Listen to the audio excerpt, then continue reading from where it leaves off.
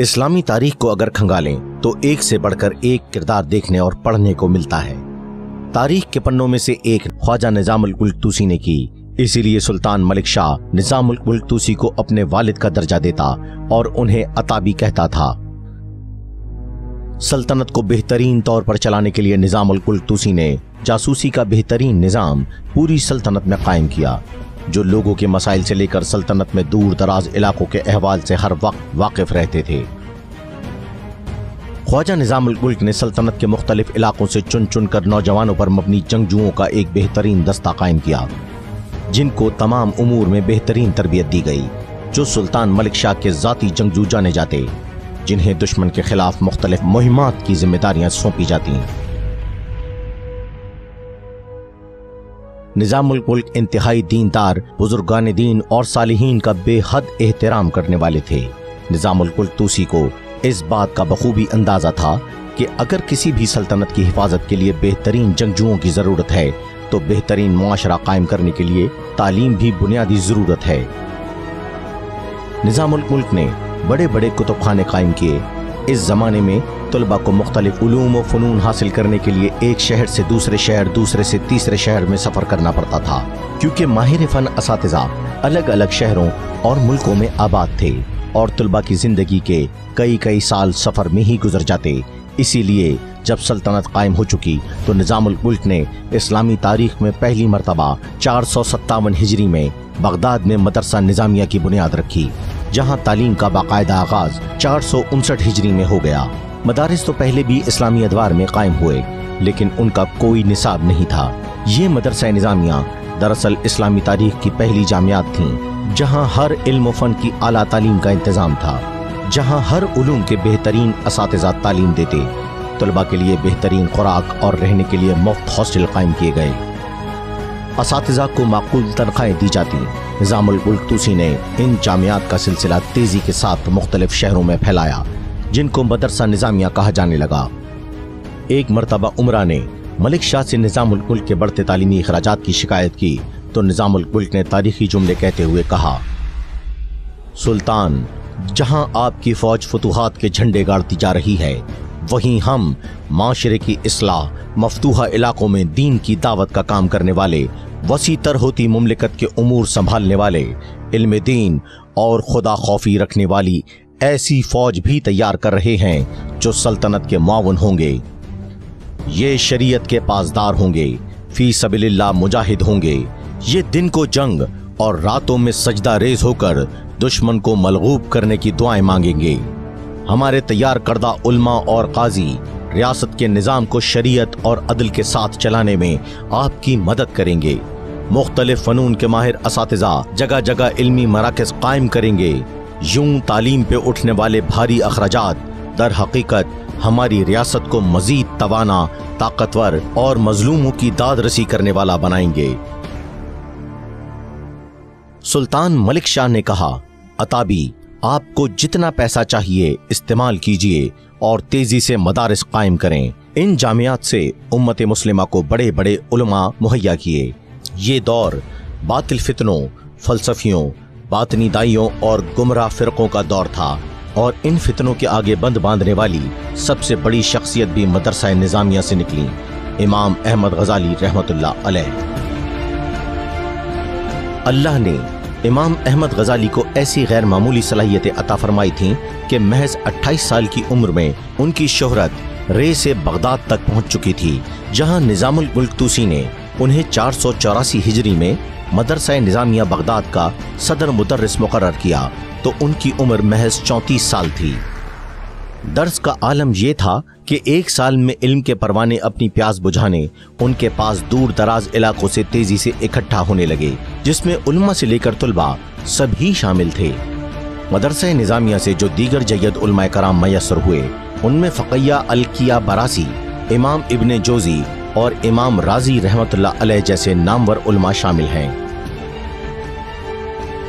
एक मरतबा सुल्तान मलिक शाह ने अपने वज़ीर और उमरा, निजामुल मुल्क, शरफुल मुल्क, ताजुल मुल्क और मुजद्दुल मुल्क से ख्वाहिश ज़ाहिर की कि ऐसी किताब तरतीब दी जाए जिसमें तुर्कों की बादशाही और मुल्की नज्म नस्क और आइन के नकाइस और वो मसाइल जो निगाह शाही से पोशीदा हैं, सबकी निशानदही की जाए और सलजूकी सल्तनत की वो कौन सी रिवायात हैं जो उनके दौरे हुकूमत में शामिल नहीं, बताई जाएँ।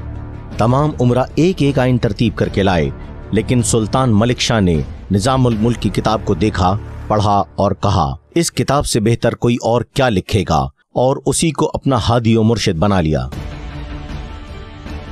निजामुल मुल्क की इस किताब का नाम सियासतनामा है, जिसमें कुरान व हदीस के साथ साथ हिकायात के ज़रिए मलिक शाह को नसीहतें की कि किस तरह बेहतरीन हुक्मरान और हुक्मरानी की जा सकती है।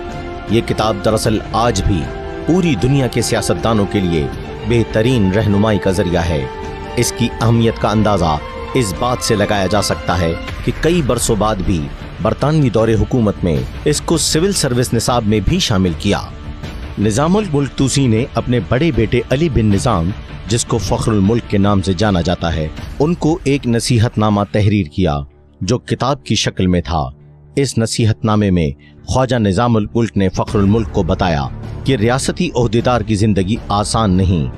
उसकी जिम्मेदारियाँ कितनी अहम और पुरखतर होती हैं। उन्हें तफसील से आगाह किया। इस किताब का नाम दस्तारुल वुजरा है, जबकि उसका दूसरा नाम वसाया निजामुल मुल्क है।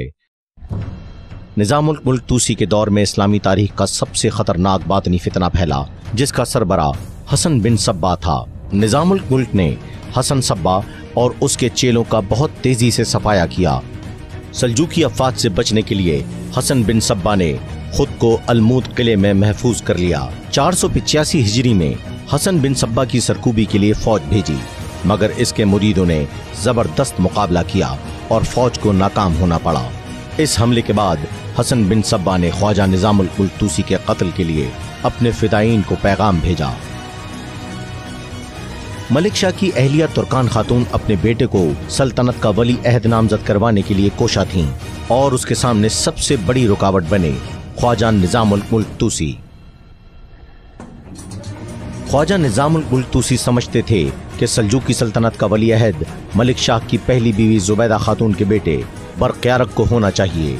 तरकान खातून को इस बात का इल्म था, इसीलिए उसने अंदरून खाना सियासत शुरू कर दी।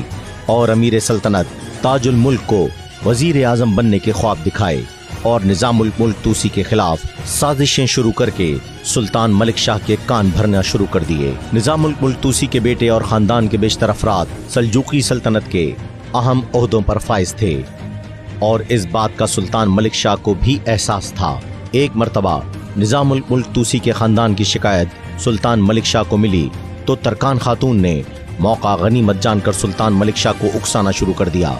मलिक शाह ने निजामुल मुल्क तूसी को शाही सफीरों के ज़रिए तंबी पैगाम भिजवाया तो निजामुल मुल्क को शदीद नागवार गुजरा और उन्होंने गुस्से में कहा, मलिक शाह अगर इतनी बड़ी सल्तनत का सुल्तान है तो वो मेरी मरून मिन्नत है। ताहम निजामुल मुल्क तूसी को थोड़ी देर में एहसास हुआ कि सुल्तान के खिलाफ ये अल्फाज गुस्ताखाना हैं। जिस पर उन्होंने सफीरों से कहा कि जो कुछ मैंने कहा, वो गुस्से और जज्बात की कैफियत में कहे गए अल्फाज थे, जिस पर नदामत है। अगर तुम चाहो तो सुल्तान को बता सकते हो, मैं तुम्हें नहीं रोकूँगा। ये तुम्हारा इस्तेहकाक है।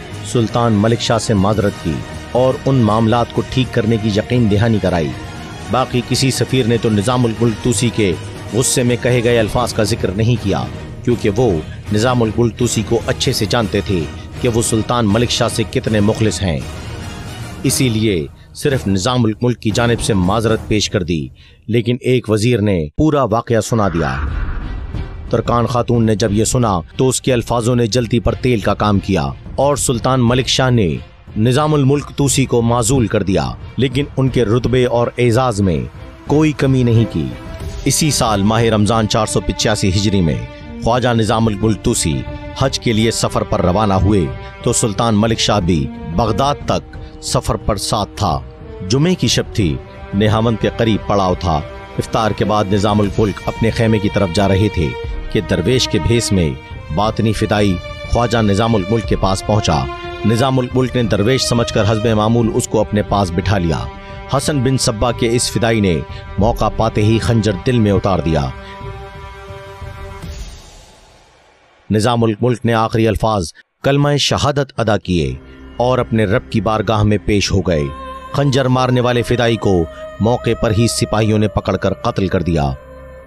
इस वाक़े के बाद बाज लोग निज़ामुल मुल्क के कत्ल के पीछे सुल्तान मलिक शाह का नाम लेते हैं, जो दरअसल गलत है। निज़ामुल मुल्क ने सुल्तान मलिक शाह की न सिर्फ़ तरबियत की, बल्कि उसको अपने बेटों की तरह समझा। और सुल्तान मलिक शाह ने भी हमेशा ख्वाजा निज़ामुल मुल्क को अपने वालिद का दर्जा दिया। कहा जाता है, निज़ामुल मुल्क का असर रसूख और उसकी रियासती मामलात में पाबंदियों से तंग आकर सुल्तान मलिक शाह ने उसको कत्ल करवाया। ये भी गलत है। अगर ऐसा होता तो निज़ामुल मुल्क की किताब सियासतनामा को सुल्तान मलिक शाह ने न सिर्फ़ पसंद किया, बल्कि अपना हादी और मुर्शिद बना लिया। कहा जाता है कि मुमकिन है कि सलजूकी वज़ीर ने बातिनियों से साजबाज करके ख्वाजा निज़ामुल मुल्क तूसी को कत्ल करवाया, क्योंकि निज़ामुल मुल्क पर हमला करने वाले शख्स के बारे में बाद में ये तो वाज हो गया था कि वो हसन बिन सब्बा का मुरीद और बातनी फिदाई था। मलिक शाह के इंतकाल के बाद निज़ामुल मुल्क तूसी का बड़ा बेटा फ़खरुल मुल्क सुल्तान मलिक संजर सलजूकी का वज़ीर बना, जबकि दूसरा बेटा अहमद बिन निज़ाम सुल्तान मोहम्मद सलजूकी का वज़ीर बना।